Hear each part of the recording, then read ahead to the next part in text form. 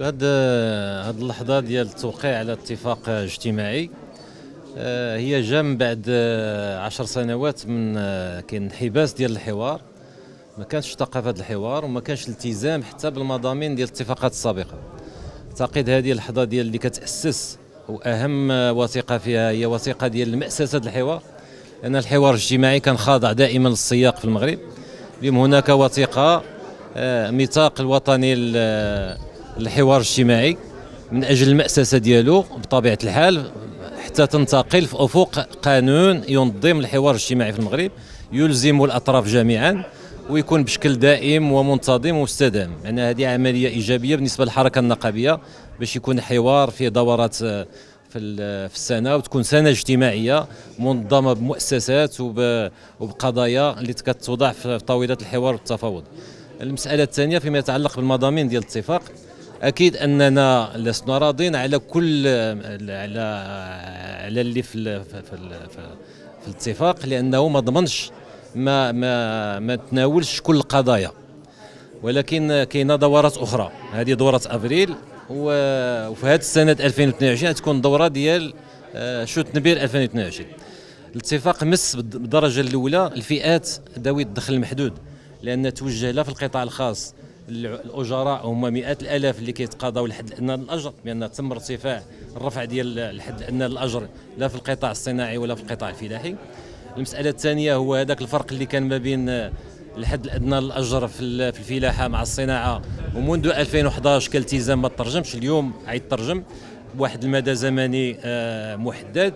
المساله وفوق 2028 ولكن كما تزاد خمسة في السميك عاد تزاد 10 في السماك باش باش يمكن يتوحدوا. هذا هذا عمل إيجابي بالنسبة للعمال الزراعيين والفلاحيين المساله الثانية بالنسبة للموظفين حتى هو مس الفئات آه، اللي عندهم أجر أدنى يعني اللي كانوا كيتقاضوا في حدود 3000 أو 3200 درهم.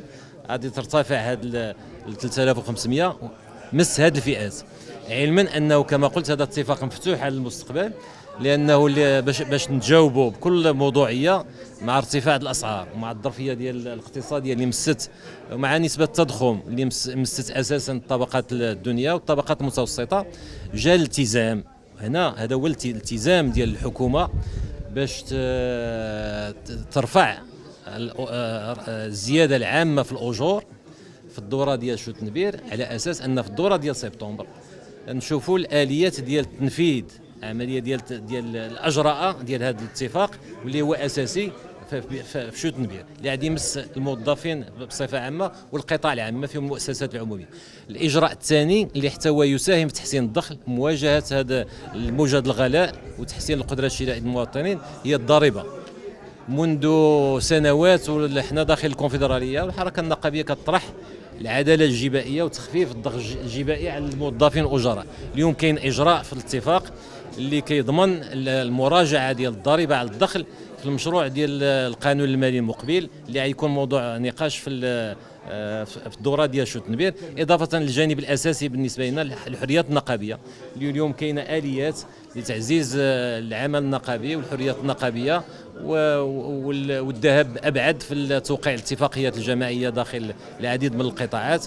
هذه كلها عناصر والعديد من المقتضيات اللي كان مفتوحه للمستقبل واللي كتفرض حنا اللي كنأكدوا عليه هو ضرورة الالتزام بالتعاقدات.